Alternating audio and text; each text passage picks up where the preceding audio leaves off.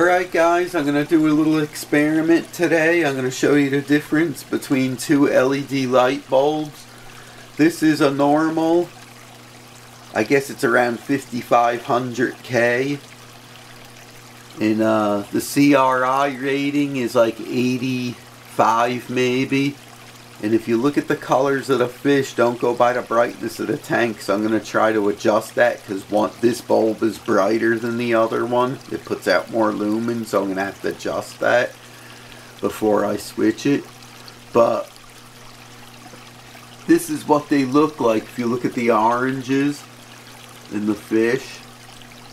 That's what they look like under this light bulb. And this isn't the one that I always show my fish under. And I always tell everybody the lighting's the most important thing. It has nothing to do with the clarity of the water or the colors of the fish. So you can see all the fish kind of look, uh, to me, blah looking. and all the other colors are inaccurate. Now when I go to this next bulb, or LED light. Instead of being 85 CRI like this one it's 98 it's way more accurate. 98 meaning it's 98% of what like duplicating the sunlight which is very close. This is way off this bulb being that it's 85 so if you had a bunch of colors they would look all off looking. But let me see if I can get the fish to the front so you could see them like I said, they kind of look blah looking. I'm going to have to adjust this, so give me a second. I'll put the other light on. So, let's shut this one off. Okay. Now, I want to adjust this accordingly. Now, here's what it looks like under this light. This is what I normally use. Little fish ain't cooperating. Come here. You can see they look much more colorful. Actually, the whole thing does. To me, anyway. The gravel looks like you can see different colors in it. And this is a different temperature. I believe this is 65K, I believe. Maybe 6K. So it's a little cooler, but that's not what I'm talking about here.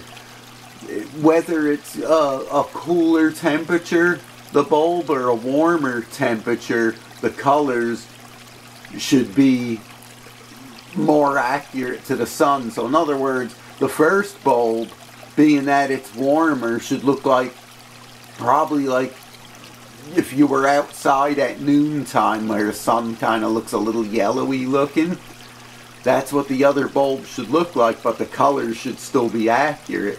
This one's 6K or 6500K. So it's mimicking more like, geez, how could I explain it? More like on a cloudy day where the sun ain't direct. But the colors are, should still be accurate, and with this bulb they are. Let me see if I get the fish to the front so you can see them. And I'll go back to the other bulb. You can see the oranges on these fish. The whites. Alright, let me go back to the other bulb so you can see it again. Come here. You see the orange and white. Now let me go back. Let me just shut this off for a second. Okay. Now I'm going to have to lower this on my camera because it's a brighter bulb that has more output.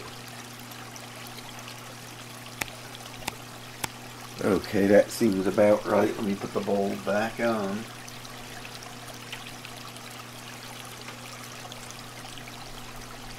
And that's that bulb. And actually this one's still looks brighter even though I'm lowering it.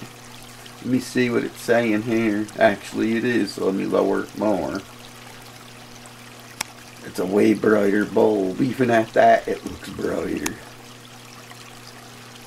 But you can see, look at the oranges and the colors.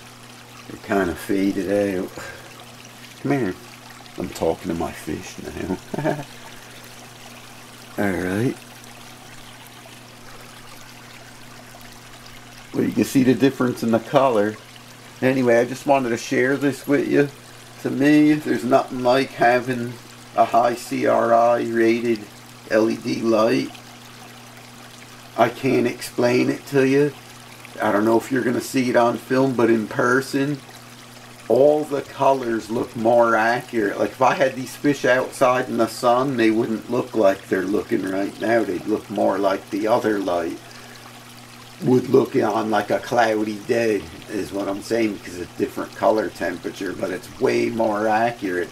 They use the other bulb for like matching colors for like printing, photography, artist work.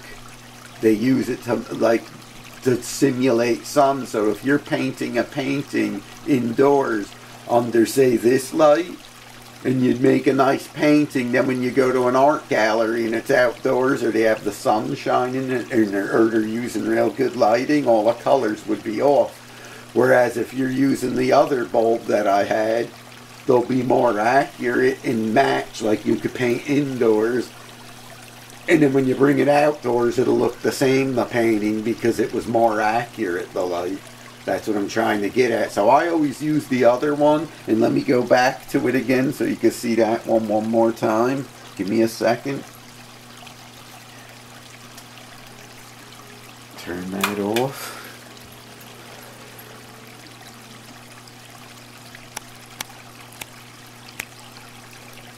Okay.